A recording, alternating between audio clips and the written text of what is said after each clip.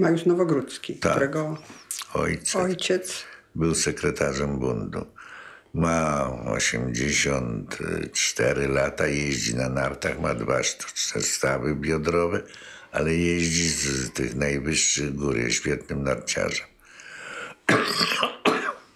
Poza tym to on zrobił w tych, jak się nazywa, w tych sputnikach amerykańskich, w programie kosmicznym.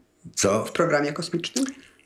Prawdopodobnie, bo ja nie mogę powiedzieć, on zrobił w tych satelitach, które przekazują, y, nie wiem, telefony, telewizję z Ameryki do Europy, takie stacjonarne, lampy radiowe. I rzecz polegała na tym, że ta lampa ma, na ta największa trudność, on był dyrektorem tego, jak ta lampa musi mieć to jest malutki, taki jak paluszek jest wielkości, a w środku musi mieć dziurkę i przez tą dziurkę musi przechodzić jakiś cieniutki drucik.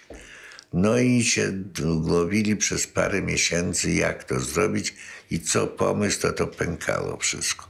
I nie można było zrobić ani gdzie wykręcić dziurki, ani coś zrobić i tak.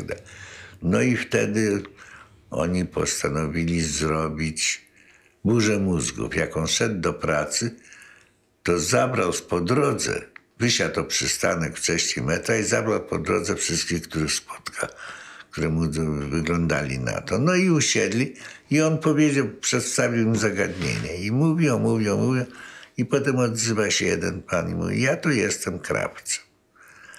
Ja rozumiem, że nie trzeba igły nawlekać na nitkę, tylko nitkę na iglę nawlec na nitkę. No i tak się stało. Zrobili pierw drucik, a potem zalali tą lampę i było wszystko w porządku. No, to jest tak, Mariusz. No i on jeszcze do dzisiaj jest do, doradcą tej firmy. To nie jest, ja nie wiem, czy to jest firma państwowa, czy, czy prywatna, nie, która robi te satelity.